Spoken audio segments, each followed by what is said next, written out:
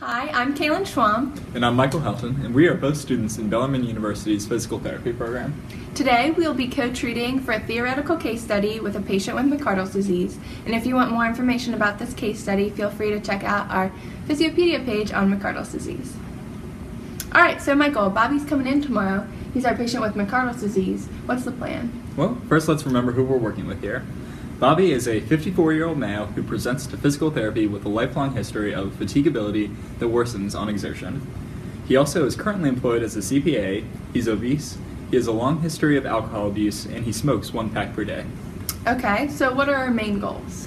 Well, he wants to remain independent for as long as possible, and he also wants to be able to play with his young granddaughter. Okay, we can definitely take those into consideration. Maybe incorporate some energy efficient ways to get up and down off the floor and work on improving his aerobic capacity to keep up with that little one. Yeah, those are great ideas. I think it's important to prevent contractures, so we should probably start with some stretching. Absolutely. Let's target the hip flexors, hamstrings, and gastrocs to promote his ability to walk and then move on to aerobic capacity. Okay. We should also work until we hit second wind, and then we should try to reduce his recovery time. Absolutely. Do you want to start on the treadmill? Uh, yeah, I think we can use the RPE scale to monitor when he hits the second wind.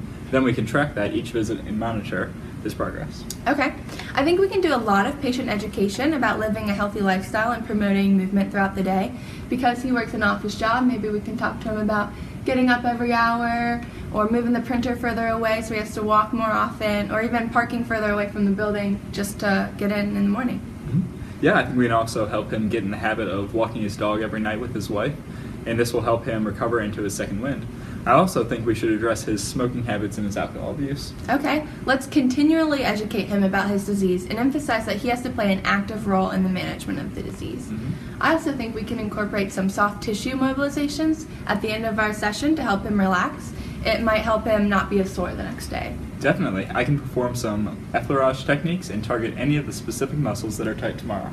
Okay, but um, remember, if you do some uh, effleurage techniques not to do any trigger point release, as this may be detrimental and promote rhabdomyolysis. Yeah, I think that's a good point.